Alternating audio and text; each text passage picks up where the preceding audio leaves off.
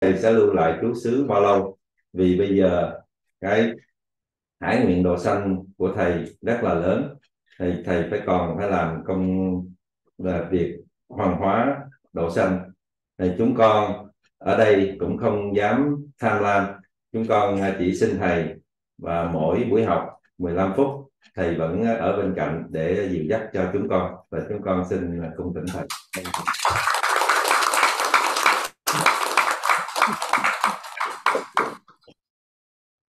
a di đà phật. A di đà phật. Cảm ơn đại đức thích hạnh phú thì tổng kết cái buổi học tập này hay quá. Xin chào tạm gửi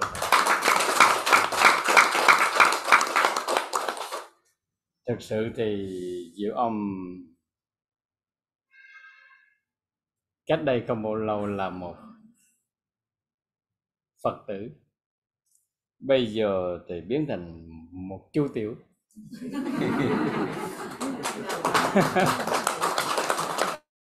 Chú tiểu này còn phải học hỏi nhiều lắm. Chú tiểu này đạo pháp chưa cao. Chỉ có biết là những cái gì nhỏ nhỏ sát bên cạnh. Gần gũi giúp cho chúng ta thoát nạn. Chư vị ơi, nghe những lời phát biểu của à, minh thành, thầy hạnh phúc và của chư vị. Dòm cũng cảm thấy hình như là nao nao trong lòng. Mình thường nghe đến cái vấn đề trở ngại con đường lâm chung. Mình cứ nghĩ rằng là chắc lẽ là đạo pháp của mình thấp quá lý đạo của mình yếu quá, mình không hiểu kinh, không hiểu pháp gì đó. Nhưng vô tình khi nghe thầy hạnh phú thố lộ ra, nghe cư sĩ minh thành nói chuyện về kinh nghiệm và hội niệm. Và bạch với chư thầy cùng tất cả chư vị, chính như âm này cũng có một chút ít kinh nghiệm về cái sự gọi là đưa đến cái thất bại của một người tu giống giống như chư vị, cũng như quý thầy đã nói như vậy. Hàng phàm phu chúng ta thường không vướng tới những cái gì cao siêu đâu, chư vị. Mà thường vướng tới những cái gì rất gần gũi. Ở đây chúng ta nhắc nhở đến gọi là oán thân trái chủ. Mà có nhiều khi chúng ta nói là oan gia trái chủ. Xin thương ơn sát bên mình giống như bác uh, quán quán nguyện nói. Quán thân nó nằm ở sau đuôi mình nằm sau lưng mình rồi rờ tới không đó. Thực sự vì là hàng phàm phu chúng ta không ai thoát được những cái tình chất của thế gian với người thế gian thì tình chấp này càng nặng chừng nào các ngài càng tha thiết càng vui mừng chuyện đó đúng không chị vị? Rõ ràng tình chấp đến nỗi là khi chết rồi cái tình chấp đó nó vẫn còn vương vấn một cách nặng nề hơn đến nỗi mà người ta còn có thể mạnh dạng nói những lời vô cùng nặng nề. Và đưa đến cái chỗ là hình như là kinh chống nhau một cách kịch liệt chỉ vì một chút tình chấp thế gian hoàn toàn không phải là để cứu người thân mà đưa người thân vào cái đại họa chư vị có thấy đau thương không? Đó. rõ ràng trong thương hiểu được sự đau thương này thì khi mà chúng ta hộ niệm đã từng thấy những người nhờ hộ niệm mà ra đi thân tướng tốt đẹp.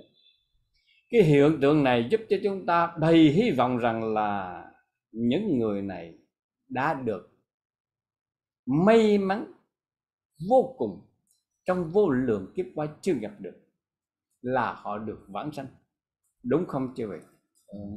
chư vị cứ nghĩ thử coi tại sao một người tu hành như thầy hạnh phú nói như hòa thượng thượng minh hạ thông nói như đức phật nói, hàng triệu người tu hành, trải qua những công phu tu tập rất khó nhưng mà hàng triệu người thực hiện con đường giải thoát, lại khó khăn tìm ra một người thoát nạn, tức là không vượt qua sanh tử luân hồi. Ấy thế mà người hộ niệm chư vị ơi, họ đã thực sự thực sự giải cứu cái ách nạn của những người vô cùng là phạm phu. Đến nỗi thầy hạnh phú đã cho biết là có một người chỉ biết nghe được câu a di đà phật do thầy khuyên. Từ sáng niệm cho đến chiều, rồi ra đi thân tướng bất khả tư nghị chắc chư vị mà nghe những cái trường này, mình phải thấy ngỡ ngàng, ngạc nhiên. Và phải xác nhận thực sự cái pháp niệm phật, hộ niệm bản chân có một cái hiệu quả vô cùng tuyệt đến nỗi có thể nó đánh đối một cái tệ trạng mà hàng triệu người không thoát nạn mà nó giúp cho có người thoát nạn trước mặt mình.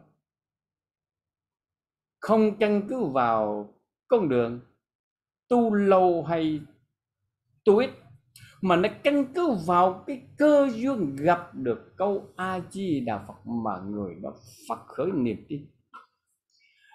Đánh đổi một cái sự thất bại ê chề từ vô lượng kiếp bằng một cái cơ duyên này mà người đó tin được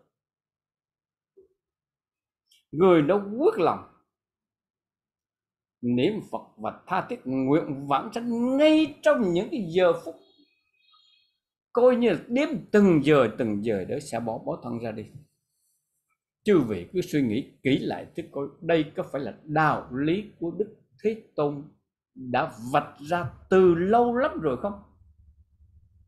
Tất cả đều do chính tâm của mình thực hiện tâm của mình thực hiện cái gì đấy chứ vậy tôi muốn vãng sanh tây phương cực lạc. Nhưng ngày nay chúng ta muốn, ngày mai gặp cái điều lợi lợi nào nào lớn hơn, chúng ta để muốn cái điều lợi đó trước cái vấn đề vãng sanh tây phương cực lạc vô tình khi hôm nay ta muốn vãng sanh, ngày mai ta không muốn vãng sanh nữa. Vô tình cái muốn vãng sanh ngày hôm nay, ngày mai chúng ta tự đạp đổ mất cái ý nguyện vãng sanh của chúng ta mà không hay. Vô tình cái cộng tu gì đó, cái công phu, cái ước nguyện gì đó không qua, biến thành mây khói. Giả sử như chúng ta cứ ngày nay nguyện vãng sanh, ngày mai chúng ta nguyện khác, ngày mốt chúng ta tham hết vô tình tất cả những công phu tướng rằng là mình đi đúng đường mà thực sự chính mình đã đạp đổ tất cả mọi công phu, đạp đổ tất cả mọi tâm nguyện, chúng ta không có chú định chính pháp hộ niệm dạy cho người phàm phu chúng ta, hãy chú định vững vàng. Làm ai bắt mình không làm, thương ai bắt mình bỏ thương. Nhớ cô nhớ cái ai bắt mình bỏ, ghét cô ghét cái nhưng nếu người thực sự có lý tưởng bản sanh, hãy dùng tất cả những phước lành của thế gian yếm trợ cho con đường vãng sanh, thì dẫu chứ vị thương con nhớ các dẫu cho chứ vị đi làm việc kiếm tiền, tất cả mọi cái đều dồn cái phước báu để yếm trợ cho con đường vãng sanh, thì chư vị đã đi đúng đường, không bao giờ thối chuyển. Sợ rằng chúng ta không dám giữ cái điều đó thành ra ngày nay thì đi tới. Ngày mai đi lui chư vị cứ tử cứ sự một người cứ đi tới đi lui đi tới đi lui. Đi tới bao giờ mà tới đích? Đúng không chứ vị? Đúng. muốn đi tới phải đi tới mãi đi tới mãi đừng bao giờ đi lui. Sở dĩ chúng ta tu vô lượng kiếp qua rồi bây giờ vẫn còn đây là tai vì trong quá khứ chúng ta cứ đi tới đi lui đi tới đi lui đi tới đi lui, đi lui mãi. Cho nên trong lục đạo luân hồi chúng ta không vượt qua được hôm nay mong chư vị đừng tới, đừng lui nữa. Mà cứ tới mãi đi, tới mãi bằng cách gì này? Tin tưởng pháp niệm phật đi chư vị đừng bữa tin bữa không, đúng không? Nguyện vãng sanh tây phương cực lạc đấy như vị tất cả đều dồn vào con đường này.